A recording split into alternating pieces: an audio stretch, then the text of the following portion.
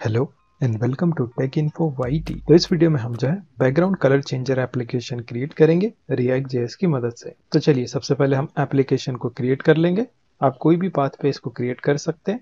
जैसे कि मैं एच ड्राइव के अंदर इसको क्रिएट कर रहा हूँ। सो इस पाथ को आपको क्या करना है? कमांड प्रॉम्प्ट पावर शेल या फिर अगर आप मैक यूज़ कर रहे हैं तो टर्मिनल में इसको ओपन कर लें। जैसे कि कमांड प्रॉम्प्ट के लिए आप लिखेंगे यहाँ पर सी तो ये पाथ जो है ऑटोमेटिकली कमांड प्रॉम्प्ट में ओपन हो जाएगा। अब हम क्या करेंगे? यहाँ पर रिएक्ट के एप्लीकेशन को क्रिएट करेंगे। तो उसके लिए कमांड है npx क्रिएट रिएक्ट ऐप और फिर उसके बाद में एप्लीकेशन का नाम। तो इसका नाम हम रखेंगे रैंडम बीजी कलर्स और इंटर प्रेस कर देंगे।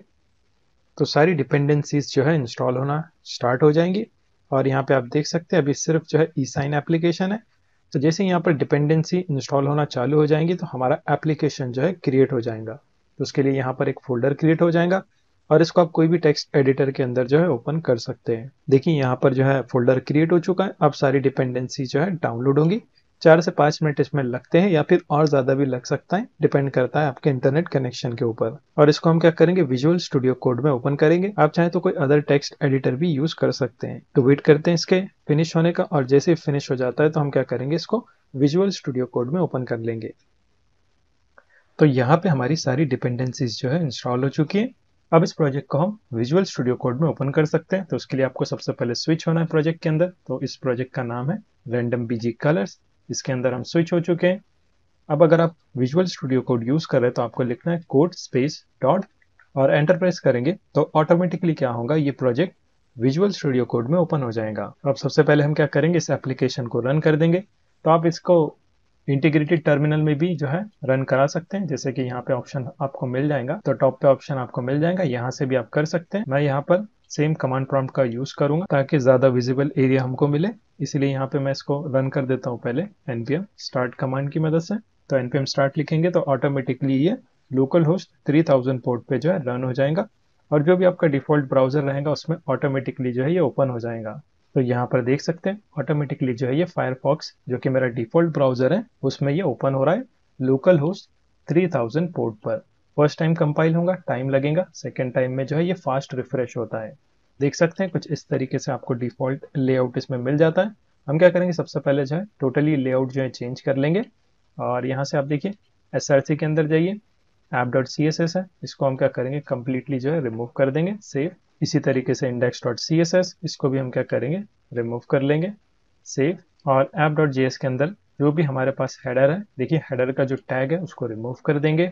और यहाँ पर एक कस्टम एच वन ले लेते हैं हम, और इसका नाम हम रख देंगे रैंडम बीजी कलर कर देते हैं बैकग्राउंड कलर चेंजर और इसमें से क्लास को भी रिमूव कर लेंगे। और आप चाहे तो app dot C S S और लोगों की फ़ाइल को भी रिमूव कर सकते हैं सेव कर लेते हैं इसको चेक करते हैं, कैसा आउटपुट दिख रहा है। तो कुछ इस तरीके से हमको जो है आउटपुट देखने मिलेगा। सबसे पहले हम क्या करेंगे, यहाँ पर छोटा सा लेआउट क्रिएट कर लेंगे और उसके बाद में उसके अंदर फंक्शनैलिटी को ऐड करेंगे। तो सबसे पहले मैं क्या करता हूँ index dot C S S में डिफ़ॉल्ट स्टाइलिंग को जो है रिमूव कर लेंगे, यानी सी एस एस को हमको रीसेट करना है।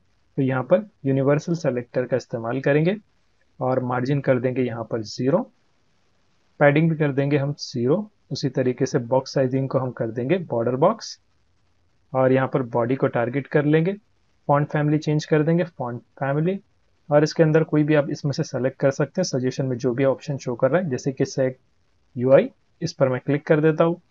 और उसके बाद में मैं कर देता हूँ display flex align items centre justified content centre और इसको बॉडी में नहीं करेंगे। मैं क्या करता हूँ, यहाँ से इसको रिमूव कर लेता हूँ कट बॉडी की हम सिर्फ़ यहाँ पर जो है हाइट दे देंगे, और हाइट रखता हूँ मैं hundred view port height save कर लेते हैं इसको और जो ऐप डॉट जे है ना, उसके अंदर ये जो डिव है डिव के बदले हम क्या करेंगे? सिंटैक्टिकल शुगर फॉर्म ऐड कर देंगे फ्रेगमेंट का और उसके बाद में जो डिव ऐड कर देंगे विथ क्लास ऑफ़ कंटेनर और उसके अंदर इस एच वन को जो है ऐड कर देंगे सेव कर लेते हैं इसको और इस कंटेनर को हम क्या करेंगे? यहाँ पर टारगेट कर लेंगे डॉट कंटेनर इसको कर देंगे हम display flex align item centre justified content centre save करके चेक कर लेते कैसा आउटपुट आपको देखने मिल रहा है। तो देखिए, बराबर से हमारे पास आउटपुट आ रहा है, लेकिन इसको सेंटर में हमको करना है तो उसके लिए हम क्या करेंगे, यहाँ पर जो है ना हाइट ऐड कर देंगे 100 व्यू पॉइंट हाइट सेव तो ये बराबर से सेंटर अलाइन हो जाएगा। अब यहाँ पे हम क्या करेंगे,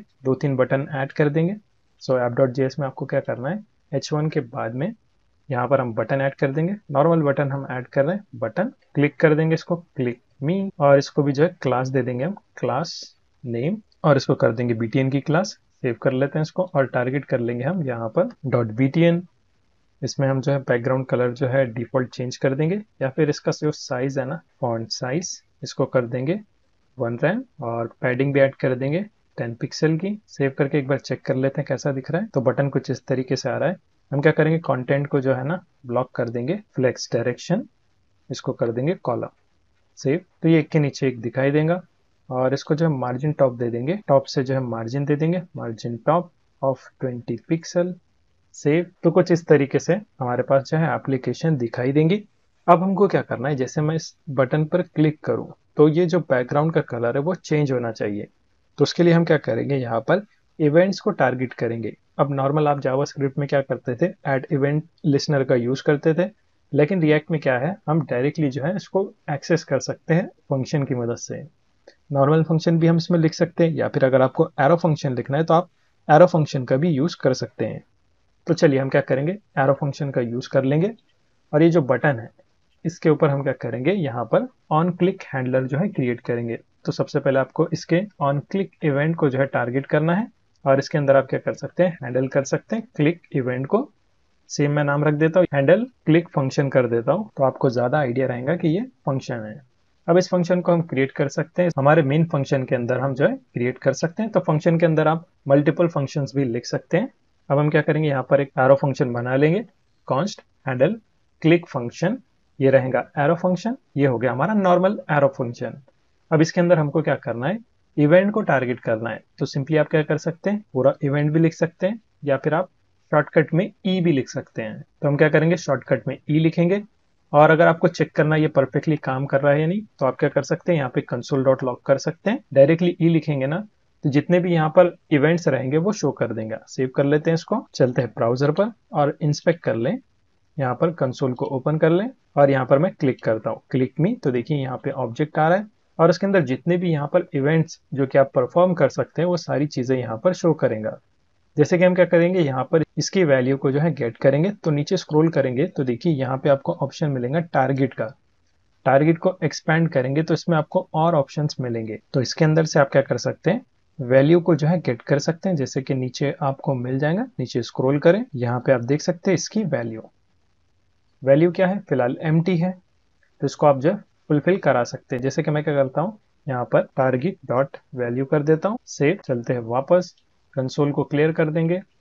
और अब मैं क्लिक मी पर करता हूँ। तो देखिए, यहाँ पर एमटी स्ट्रिंग आ रहा है। क्योंकि वैल्यू के अंदर अभी हमारे पास कोई भी वैल्यू नहीं है। हमको क्या करना है? पहले शुरू जो है टारगेट करना बैकग्राउंड को। तो इसको हम क्या करेंगे? एक वेरिएबल के अंदर रखेंगे या फिर एक फ़ंक्शन और क्रिएट करेंगे। नॉर्मल हम फ़ंक्शन क्रिएट करेंगे और उसकी मदद से जो है यहाँ पर गेट करेंगे बैकग्राउंड की प्रॉपर्टी को। और फिर जैसे एक क्लिक होगा तो उसमें हम उसको असाइन कर देंगे। तो पहले मैं क्या करता हूँ? इनको गेट कर लेता हूँ बैकग्राउंड को। सो यहाँ पे आपको क्या करना है? वेरिएबल्स बना देने कॉन्स्ट जैसे कि इसको कर देंगे हम बीजी इक्वल टू यानी बैकग्राउंड को हम टारगेट कर रहे हैं, इसीलिए मैंने इसको बीजी रखा है, या फिर हम इसको बॉडी नाम दे देते हैं। बॉडी और इसको हम नॉर्मल जावा की मदद से गेट करेंगे डॉक्यूमेंट डॉट क्यूरी सेलेक्टर और इसके अंदर हम क्या करेंगे डायरेक्टली जो है बॉडी को टारगेट कर लेंगे बॉडी उसके बाद में हम क्या करेंगे, यहाँ पर बैकग्राउंड को भी टारगेट कर लेंगे so body dot style so style भी क्या है? एक प्रॉपर्टी है। आप इसका यूज़ कर सकते हैं और इसकी मदद से बैकग्राउंड को चेंज कर सकते हैं। तो स्टाइल के बाद में आपको लिखना है बैकग्राउंड और इसको हम कैसे चेंज करेंगे? क्योंकि हमको रैंडम करना है इसीलिए हम क्या करेंगे यहाँ पर? मैथ फ़ंक्शन का यूज़ करेंगे। तो मल्टीपल एक फ़ंक्शन मैं क्रिएट कर देता हूँ। गेट रैंडम कलर ये हम कॉल कर देंगे। और इस फ़ंक्शन को अभी क्रिएट करना है। सो so, यहाँ पर आप क्या करें? उसका जो है वेरिएबल बना के छोड़ दें। जैसे कि नॉर्मल फ़ंक्शन मैं इसको बना देता हूँ। फ़ंक्शन और इसका नाम रखेंगे हम रैंडम कलर जो कि हमने ऊपर असाइन किया है। वही चीज़ आपको यहाँ पर पास करना है। अब इस फ़ंक्शन के अंदर हम क्या करेंगे? कलर को जो है गेट करेंगे। तो कलर हमारे पास जो रहेगा, हम यूजुअली जो है हेक्साडेसिमल कलर्स का यूज़ करते हैं। यानी हैक्स वैल्यू जो हैश से स्टार्ट होता है ना, उसको हम यूज़ करते हैं। तो उसको एक वेरिएबल में ऐड कर देंगे लेट लेटर्स इक्वल टू और उसके अंदर रैंडम हम क्या करेंगे? स्ट्रिंग ऐड कर देंगे। तो सिंगल कोटेशन डबल कोटेशन जो भी आपको यूज़ करना है, आप यूज़ कर सकते हैं। Zero one two three four five six seven eight nine और उसके बाद में आप लिख सकते हैं यहाँ पर A B C D E F और उसके बाद में हम क्या करेंगे? एक और वेरिएबल क्रिएट कर लेंगे, जिसमें हम हैश को जो है सेव करेंगे। जैसे कि यहाँ पे मैं लिखता हूँ कलर के नाम से कलर इक्वल टू हैश अब हमको क्या करना है? मैथ फ़ंक्शन का यूज़ करना है और इसको जो है कंबाइन करना है। कैसे करेंगे? बहुत सिंपल है। हम क्या करेंगे? कलर को जो है ना कंबाइन कर लेंगे। प्लस इक्वल टू लेटर्स दोनों को हमको कंबाइन कर देना है। और कैसे कंबाइन करेंगे? यहाँ पे हम क्या करेंगे? फॉर लूप का इस्तेमाल कर लेंगे इसमें। तो मैं क्या करता हूँ? इनको जो है ना फॉर लूप के अंदर ले लेता हूँ। इसको कट कर देंगे और यहाँ पर फॉर लूप का इस्तेमाल कर लेंगे। फॉर और यहाँ पर एक वेरिएबल मोस्टली आई का यूज़ करते हैं I is equal to zero zero से स्टार्ट क्यों कर रहे हैं? क्योंकि ये एरे है। एरे ज़ीरो से स्टार्ट होता है। अब कब तक क्या आपको इसको लूप करना है? फाइव कैरेक्टर का हेक्साडेसिमल कोड होता है। तो उसके लिए हम क्या करेंगे? यहाँ पर लिख लेंगे। I is less than six और उसके बाद में आई को इंक्रीमेंट करा देंगे। आई प्लस प्लस और यहाँ पर सेमी कॉलन है क्योंकि ये लूप है इसीलिए यहाँ पर सेमी कॉलन लगता है। और इसके बाद में इसका ब्लॉक इसके अंदर हमको जो है क्यूरी परफॉर्म करना है। हम क्या करेंगे? कंबाइन कर देंगे कलर को किससे? लेटर से। सो so, यहाँ पे आपको लेटर ऐड कर देना है।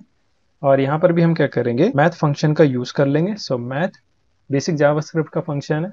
मैथ डॉट फ्लोर और इस फ्लोर के अंदर हम क्या करेंगे, इसको जो है रेंडमाइज कर देंगे। So math dot random random के अंदर हम क्या करेंगे, यहाँ पर इसको जो है मल्टीप्लाई कर देंगे 16 से, और उसके बाद में हम क्या करेंगे, यहाँ पर रिटर्न कर देंगे कलर को, क्योंकि कलर को हमको यूज़ करना है, इसीलिए हम उसको रिटर्न भी करा दे रहे हैं। तो यहाँ पे हमारा नॉर्मल फ़ंक्शन जो है क्रिएट हो चुका है। अब जब भी जो है हम बटन पर क्लिक करेंगे तो क्या होगा, यहाँ पर रैंडम कलर जो है जनरेट होगा। सेव कर लेते हैं इसको, और इस रिटर्न को हम क्या करेंगे, यहाँ नहीं इसके नीचे करेंगे। तो फॉर में से आप इसको निकाल लें क्योंकि फॉर के अंदर हमको रिटर्न नहीं करना। फॉर के अंदर सिर्फ़ हम क्या करेंगे? कलर को जो है गेट करेंगे और उसके बाद में कलर को जो है रिटर्न करा देंगे ताकि हम इसका यूज़ कर पाए। सेव कर लेते हैं इसको। तो इतना यहाँ पर आप इसको नीचे कर लें और सेव कर लें। चलते हैं एप्लीकेशन पर और यहाँ पर इसको रिफ्रेश कर लेंगे एप्लीकेशन को और यहाँ पर मैं क्लिक करता हूँ क्लिक मी तो देखिए रेंडमली हमारा बैकग्राउंड जो है चेंज हो रहा है। इसी तरीके से आप बटन के लिए भी कर सकते हैं। तो बटन को भी आपको क्या करना पड़ेगा? गेट करना पड़ेगा। तो बटन के लिए हम क्या करेंगे? Directly e dot target dot style और स्टाइल के अंदर इसका बैकग्राउंड कलर जो है चेंज कर लेंगे। और इसको भी सेम गेट रैंडम कलर का जो फ़ंक्शन है, इसको कॉल कर देना है। तो इसका कलर भी चेंज हो जाएगा। चेक कर लेते हैं ये काम करता है यानी e dot target dot style उसके अंदर स्टाइल में बैकग्राउंड कलर चलते हैं एप्लीकेशन पर रिफ्रेश कर लेंगे इसको। इनिशियली जो है डिफ़ॉल्ट बैकग्राउंड कलर रहेगा। क्लिक मी पर करता हूँ तो देखिए, यहाँ पर हमारे बटन का भी कलर जो है चेंज हो रहा है। रेंडमली जो है यहाँ पर कलर जो है जनरेट हो रहा है। तो इसी तरीके से आप इस फंक्शनैलिटी का यूज़ कर सकते हैं।